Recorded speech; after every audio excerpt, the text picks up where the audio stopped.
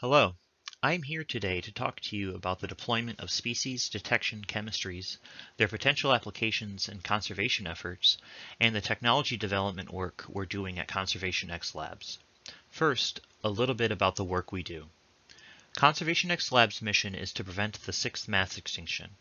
Conservation X Labs is a technology and innovation company that creates solutions to prevent the extinction crisis through developing new technology in our labs, harnessing planetary genius through innovation, competitions, and empowering talented innovators across disciplines to create transformative products that serve people and our planet. ConservationX Labs is pioneering a new model for conservation built on exponential technologies like artificial intelligence and synthetic biology, coupled with financial and behavior change innovations, and scaled through the private sector, partnerships with conservation organizations, and collaborations with governments and intergovernmental entities. By harnessing the democratization of science and technology and the power of new solvers from around the world, conservation can operate at the pace and on the scale necessary to keep up with and even get ahead of the planet's most intractable environmental challenges. My name is David Baisch, and I'm the Molecular Innovations Director at Conservation X Labs. For the last five years, we have been working on the development of a handheld, battery-powered, easy to use, rugged genetic detection device that can serve as a platform to equitably bring powerful species detection assays into the field and into the hands of those who need it most. We call this device the NABIT, the Nucleic Acid Barcode Identification Tool. We intend to deploy this device across the world to help with the fight against illegal wildlife trafficking, increasing supply chain transparency, halting the spread of invasive species, detecting pests and pathogens to support sustainable agriculture, among many other impactful use cases. Here's a brief background on what drove the development of this device. We are in the midst of a human-induced extinction crisis, the Anthropocene. There are many factors contributing to this unprecedented loss of species, including poaching, overexploitation of stressed populations, habitat fragmentation, pressures from alien invasive species, climate change, among many other factors. The scale of this problem often becomes hard to grasp, but can be staged with a few sobering statistics listed here.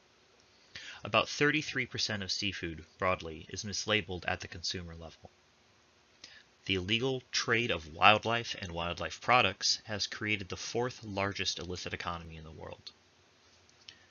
Annual losses globally from illegal logging total between 30 and 100 billion US dollars, an amount equal to about 20 to 30 percent of the total global wood trade.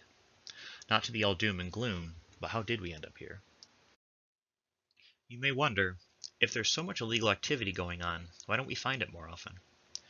Customs agents must balance upholding laws and regulations through screening and inspections, while also allowing the flow of commerce to continue. This balancing act results in concealing illicit goods becoming a numbers game for traffickers, as most containers simply aren't physically inspected due to time constraints.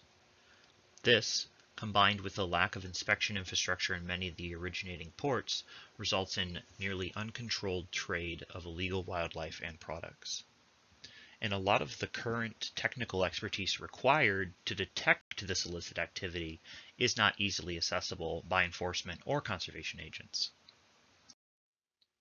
When illicit activity is encountered or suspected, the investigation into these products can take months to years to return results.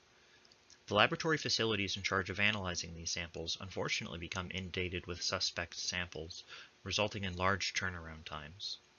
The technology and expertise required to provide actionable information is often too far removed from the point of potential interdiction.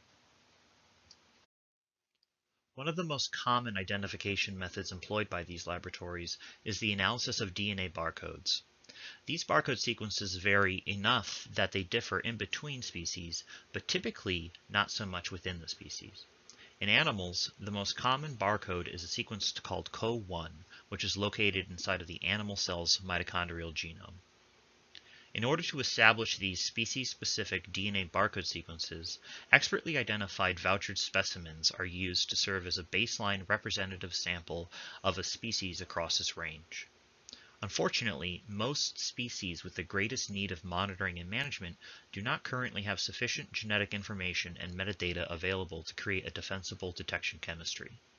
There is an urgent need for species experts to contribute vouchered specimen sequences to help close this gap. If we are to stem the tide of this extinction, not only must identification chemistries be developed to answer these species identification and origin questions, but easy-to-use sample preparation methods must be provided for untrained users to ensure that these tests are successful and produce high-quality outputs for decision support. These solutions must also be inexpensive enough so that they may be scaled to the size of these extinction level problems and be accessible to those in biodiverse, low resource settings, where many of these threatened species live. The shockwave of the COVID-19 pandemic has changed how the entire world operates, but in that upheaval, there may be opportunities. Perhaps one of the greatest opportunities and challenges for the scientific community has been the evaluation, dissemination, and communication of complex scientific hypotheses and research for the public. Here is the Google search term data for the term PCR since 2004. Despite being a mainstay of the scientist's toolbelt for nearly 40 years, knowledge and understanding of this process didn't enter the public mind until the beginning of the pandemic last year. These nucleic acid detection chemistries are now broadly being recognized and considered for a quickly increasing amount of applications. The constant need of tools and resources to combat the wicked problems contributing to the Anthropocene, combined with the changes from the pandemic, pushed Conservation X Labs to create the NABIT. This is our handheld, easy-to-use solution to these wicked problems. The currently accepted sample inputs include swabs and scrapes, with additional sample types currently under development. The battery-powered device contains an integrated sample heater for sample treatment and extraction. The swab or scrape is inserted into the lysis tube where it is heated and extracted. The extracted sample is then buffered and then transferred to our 5-well cartridge where it resuspends four individual species identification reactions and one positive control which measures potential inhibition. At high input target concentrations, results can be returned in as little as 18 minutes. The NABIT can currently serve as a platform for any fluorescent isothermal chemistry or process. These chemistries can be designed down to the species level using unique artifacts in the DNA barcode sequences of the target, while also including representative sequences from potential non-targets which may be present in the sample to ensure specificity. Once the chemistry has been validated in the lab and lyophilization feasibility of the assay is completed, field-ready cartridges can be produced with appropriate field sampling kits that can be deployed to verify presence or identity of a target species. Since isothermal chemistries can target either DNA or RNA targets, assays can be developed to not only detect animal, plant, and fungi DNA barcodes, but also RNA viruses and RNA products inside of eukaryotic and prokaryotic cells. One early application that has been developed is a differential identification test between Atlantic salmon and Chinook salmon using mitochondrial DNA CO1 barcodes. The developed test uses a simple swab of the fillet which is extracted, diluted, and transferred into the cartridge which is inserted into the device. The device then facilitates the reaction and automatically interprets the results, displaying to the user which species of salmon was detected, if any, in around 30 minutes. The test was developed initially to detect substitution of expensive Chinook salmon for much cheaper Atlantic salmon for use by consumers, restaurants, and seafood distributors and importers. This same test could be used to detect the presence of Atlantic salmon DNA in environmental watershed samples. For example, here in Washington state, the Atlantic salmon is an invasive alien species, and filtered water could be input into the test process to to tell in the field if Atlantic salmon is present in the sampled watershed and could provide actionable information on site for the control of this invasive species. Another application that has been developed for the NABIT is a two-gene test for SARS-CoV-2, the virus which causes COVID-19.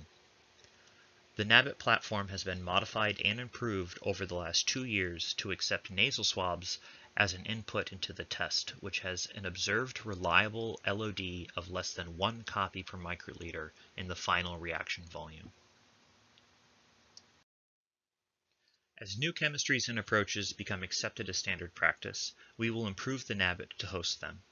Future versions of the NABIT will also incorporate the ability to use thermocyclic heating profiles, which will unlock qPCR assays to be used on our platform. A huge number of use cases will also drive the development of peripheral sample preparation devices to unlock a diverse set of difficult input sample types.